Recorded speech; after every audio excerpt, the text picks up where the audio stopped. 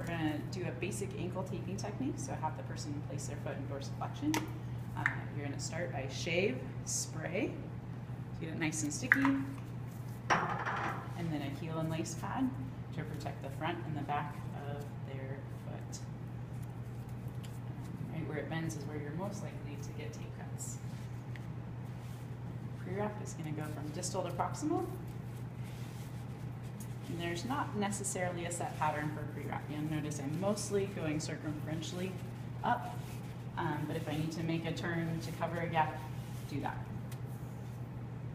After the pre-wrap, you're gonna do two proximal anchor strips.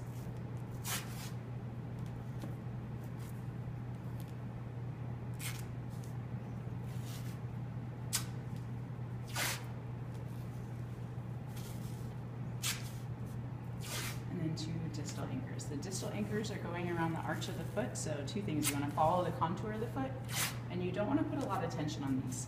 Uh, no one wants something really tight in the arch of their foot. Next thing you're going to do are stirrups.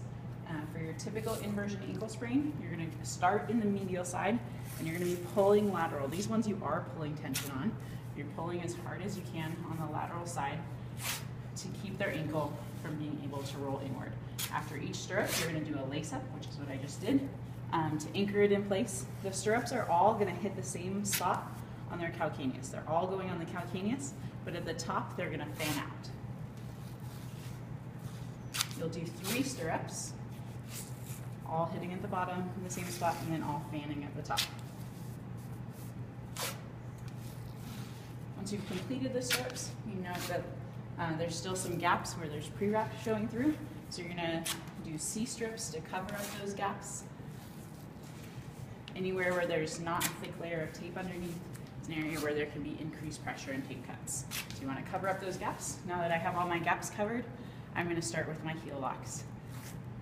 For heel locks, I'm gonna start at the point of injury, which is normally around the lateral side. I'm gonna come across the medial malleolus, around the heel cord, and then I'm gonna have this uh, diagonal strip right there. That's your lock in a heel lock. It comes up through the arch, crosses where their laces are. If you need to rip to get a good ankle, you can.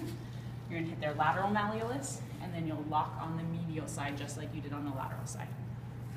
So every time you go back up to where the laces are, hit the malleolus, heel cord, and a diagonal strip on the heel. You do two heel locks each side. Again, you can rip every time you get to the top if you need to. So those are my two heel locks, and then I'm gonna do two figure eights. Figure eights are just what they sound like. You make an eight pattern. So the top half of my eight goes around her ankle, and the bottom half of my eight goes around the bottom part of her foot, and it's gonna cross each right um, at the top, just like your heel locks did.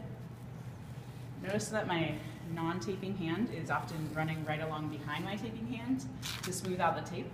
That's one way to get, um, so you need to have good angles, angles, not to get wrinkles, but also use your other hand to smooth out your tape. And then you just lace it back up at the end uh, to cover it up, make sure it's all tight. So that's your basic ankle tape.